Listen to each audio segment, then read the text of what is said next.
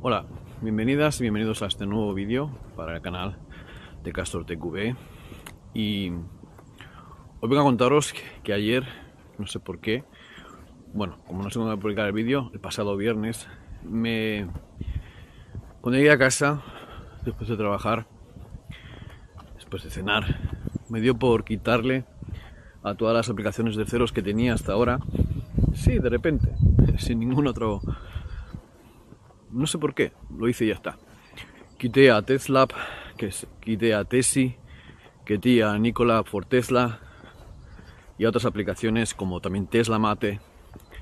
Eh, borré las cuentas. Dije que no quiero que sincronicen más con el coche y me dio por ahí y fuera. Solo conservé o conservo eh, en primer lugar EVE, que ya lo dije en, en un vídeo, que me parece una buena herramienta gratuita y también dejé TeslaFi, que es la única que tengo de pago. ¿Y por qué hice esto? Muy sencillo.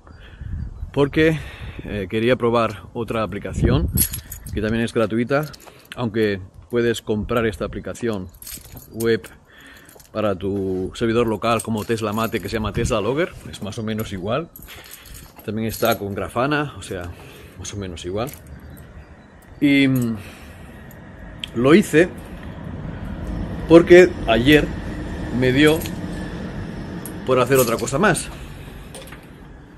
Quería también tener eh, sincronizado Route Planner con el coche, pero no quería hacer el win con Tesla.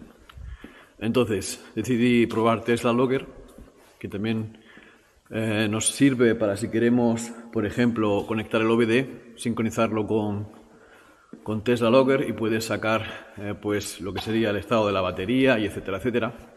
Para eso tienes que hacer una descarga del 100% al 0% y te puede hacer un, análisis de la batería a través del OBD. Pero bueno, no es este el tema. Lo que quería era ver si es más preciso a Better Planner cuando tiene datos del coche. Y vamos a ver hoy una prueba que he hecho hace un poquito, ¿vale? Estoy grabando la introducción después de haber hecho la prueba. Eh, no me ha salido como yo quería, ¿vale? He tenido muchos fallos, pero eso es lo bueno, que se vea que tiene fallos y que después, incluso después de un ratito, de un par de horitas, bueno, un par de minutos, que es lo que dura el vídeo, ver cómo al final sí que funciona perfectamente y era justamente lo que esperaba. Así que, sin nada más que decir, os dejo con este pequeño vídeo en el que vamos a ver si sincronizando los datos de Tesla, en este caso a partir de Tesla Logger, sí es más útil a Betterroot Planner sin necesidad de tener la versión premium. Y quiero enseñaros rápidamente cómo se ve esto así, ¿vale? Aquí tenéis pues lo que sería el estado, ahora se acaba de desconectar porque el servidor habrá caído o lo que sea. Y como veis tenemos aquí el Tesla Logger, eh, que está conectado y podemos conectar los datos del vehículo pues desde la aplicación de Tesla, desde Tronity, desde JEDOM, o sea, Tesla ya sabéis que es la aplicación de Tesla con vuestros credenciales de Tesla. Tronity también es una aplicación de monitoreo que cuesta creo que son 50 euros al año, más o menos como TeslaFi y como otras aplicaciones que hay por ahí, como Tesi, TESLAB, etcétera. Después tenemos JEDOM. JEDOM es una para unos sistemas de domótica automáticas open source que se llevan mucho, sobre todo en Francia. Y después tenemos, como habéis visto, TestLogger, que es el que tengo conectado. Y tenemos también genéricos, generas un token que puedes utilizar, eh, que lo puedes poner tú directamente en cualquier otro sitio y lo puedes em, también sincronizar. Bueno, lo malo de, em, de Tesla, de un Planner, es que aunque se ha sincronizado el coche con el consumo y todo, pone que está a 72 porque estaba offline, ¿vale? Pero bueno, cuando empezamos a comentar, a, conectarnos, em, empezar a calcular. Y el coche nos dice que vamos a llegar con un 68%. En cambio, vamos a tardar 20 minutos. En cambio, eh, a Better Planner nos dice que vamos a tardar 16 minutos y vamos a gastar incluso más batería. Como veis empezamos con un 72, me imagino que cuando empecemos a caminar se, empezará a sincronizar. Y vamos a llegar con un 66% a esta calle. La verdad es que no va a ser así, porque aquí pone que son 17 kilómetros y aquí pone que, pone que son 10 kilómetros. Hay una diferencia en cómo calcula la ruta. eh, Tesla lo hace naturalmente en, versión eh, más económica y Aperture Planner lo hace en más rápida. Pero incluso así, 16 minutos, ¿vale? Y este tarda 20. Así que vamos a ver si al final llegamos con un 68% y os voy a enseñar también cuando estemos llegando si esto se ha corregido o si por lo visto no. Bueno, pues empezamos el trayecto. La verdad es que normalmente em, voy a grabar solamente la pantalla, no voy a grabar la carretera. Deciros que cuando vas por ciudad, eh, pues no está permitido, por así decirlo, el grabar en las calles. Es una cosa que no está permitido. En carretera abierta podéis grabar, normalmente no pasa nada. Autopistas nacionales. Pero en población, en muchos países, bueno, en todos en realidad, está prohibido por culpa de lo que sería que le puedes eh, mostrar a alguien eh, cómo evacuarse de un sitio y planear, eh, bueno, pues cosas. Eso también se puede ver a través de Google Maps hoy en día, pero bueno, la policía es un poquito... piensa que tú grabas una carretera para, para hacer alguna maldad. Sobre todo si te quedas estacionado. Si vas caminando no hay tanto problema, pero si te quedas estacionado en un sitio no es y bueno, como veis, el coche ha vuelto a hacer un cálculo. Ahora nos dice que llegamos con un 69%. En el caso de Tesla, dice que llegamos con un 68%. O sea que llegamos con el mismo consumo porque eh, es el mismo camino. O sea que, como veis, sincroniza un poquitín más exacto. Pensar que de momento el Tesla Logger está offline. Debe ser que ha caído mi servidor allí en casa. Cuando os he enseñado a empezar el vídeo estaba online y bueno, el cálculo es que llegas con un 69%, que sería pues como si llegáramos con un 68% porque tiene en realidad un 71% de batería. Seguramente se recupera la conexión en algún momento, en caso de que no se me haya quedado bloqueado el sistema, porque eh, antes de hacerlo en una Raspberry Pi individual, porque ahora lo tengo virtualizado, eh, lo quería probar eh, y bueno, en ese, en ese dispositivo tengo muchísimas más cosas que están funcionando al mismo tiempo. Entonces no, no creo que funcione muy bien. Pero bueno, independientemente de esto, me imagino que cuando lo ponga directamente en su en una Raspberry Pi individual, eh, este problema no será tan tan así. Vamos para atrás y miramos si quizás se ha conectado ya. Como veis se ha conectado. Y ahora pues tardará como un minuto en sincronizar el estado de la batería. Me imagino que corregirá eh, por los datos.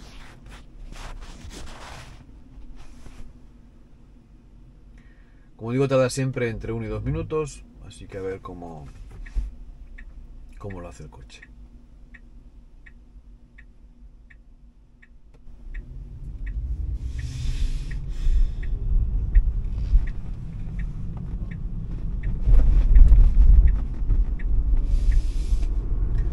todas maneras, la aplicación, aunque esté conectada, no sincroniza cada segundo, ¿vale? Tarda un poquito en sincronizar.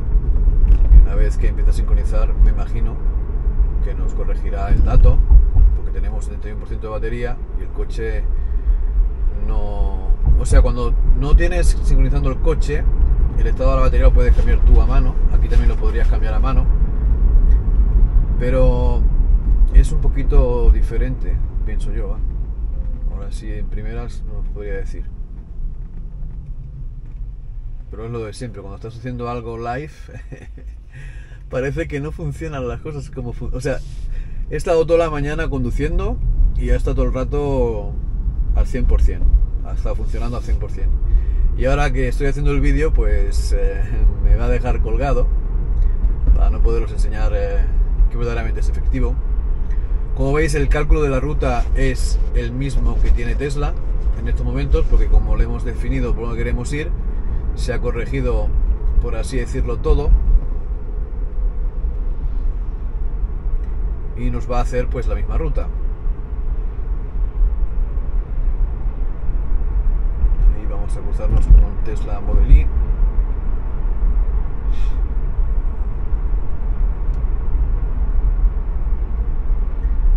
Se ha cambiado al 71%, lo que no sabemos si es porque está consumiendo, porque no ha corregido aquí el 68%. Y en el caso de Tesla pone que llegamos con un 68%, así que no ha corregido los datos. Piensa que hemos consumido un por ciento de batería. También deciros que me he dado cuenta de que Tesla, eh, el estado de la batería, si tú lees eh, directamente con el Tesla Logger, o sea, si tú pones un, un OBD dentro del coche, aquí te puede marcar 71, pero puede ser que tengas eh, 71,98. Pero él siempre te va a poner lo peor. O sea, una vez que cambia de 72 a 69, por ejemplo, 72 a 71,9, aquí ya te pone 71 y estas aplicaciones eh, te redondean a 72. Es una diferencia que hacen de cálculo, o sea, de interpretación. Entonces, aunque puede ser que tengas 71,8 en la batería, la aplicación hasta que no este hasta que no llegas a 71,5 no te cambia a 70, o sea, van siempre como un poquito por delante de lo que tienen que marcar aquí. Así que veremos. ¿Ves? Ya pone que está a 68% eh, cuando lleguemos, como habéis visto, lo ha corregido. Y aquí también pone 68, o sea que es también un problema que tenemos eh, con los loggers o con todas las cosas que tenemos en, en Tesla. Por ejemplo, si tú pones a cargar el coche y te pone que tienes para 427 kilómetros, por ejemplo, ¿no? En el caso de Tesla, si tienes 427,98, que ellos hacen todo en 100, eh, Tesla ya te pone 427, en cambio aplicaciones de ceros te ponen 428, o sea, redondean de 0,5 hacia arriba y de 0,5, menos de 0,5 es hacia abajo. Y Tesla te lo pone directamente cuando llegas a 427,99 ya te pone que tienes 427. O sea, siempre te pone la peor, nunca la mejor. Y es una cosa que también hay que tener un poquito en cuenta. Son cosas que me he dado cuenta con el tiempo y que bueno, que bueno, que no, que no se tiene muy así, no, nadie lo habla, pero es una cosa que me ha parecido bastante importante. Tesla que pone que llegamos en 13 porque está viendo que aquí tenemos eh, pues lo que estáis viendo, un montón de coches. Eso a ver tu Planner no lo ve.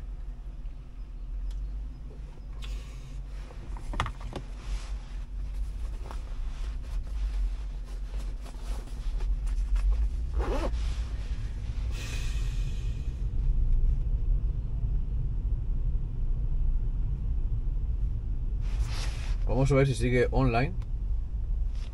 Eh, mi... Sí, sigue conectado sigue conectado el Tesla Logger y ves que pone que está 71 el, el, el SOC del coche está 71 como estáis viendo aquí. En cambio en la ruta nos pone también que tenemos 71 se ha vuelto a sincronizar ahora dice que llegamos con un 69% y aquí nos pone que llegamos con un 69% como veis se va sincronizando todo el tiempo y parece que no me va a dejar tirado el programita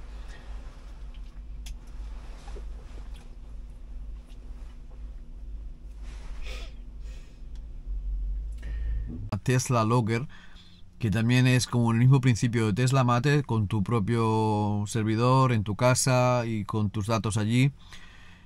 Y se sincroniza todo en tu Raspberry Pi. Ellos venden tres versiones. Tienes la versión gratuita, que tú tienes eh, la posibilidad de instalarlo en un Docker, una aplicación Docker. La segunda es que te compras una tarjeta SD para una Raspberry Pi, luego tú te compras la Raspberry Pi y lo instalas, o bien compras ya la versión de Raspberry Pi con la tarjeta dentro, te manda las credenciales y tienes que poner tu token de, em, refresco y tu token eh, de acceso de Tesla y automáticamente puedes em, bueno pues iniciar a recuperar los datos monitorizar el coche igual que lo hacen las otras aplicaciones. Lo que pasa es que en el caso de Better Planner em, tiene maneras de conectar el coche y yo no quiero dar a todos los sitios una credencial del coche, por lo tanto me ha parecido muy interesante poder conectar los datos del vehículo a través de Tesla Logger, poniendo el token de Aperture Planner en, la aplicación de tu em, Raspberry Pi. Además, Tesla Logger me da la oportunidad de sincronizar los datos recabados por eh, Scan My Tesla y los puedo pasar directamente a la Raspberry Pi donde están los datos monitorizados del coche. Nada, hasta aquí el vídeo de hoy, espero que os haya gustado el vídeo y nos vemos aquí en Castor TV en un próximo vídeo.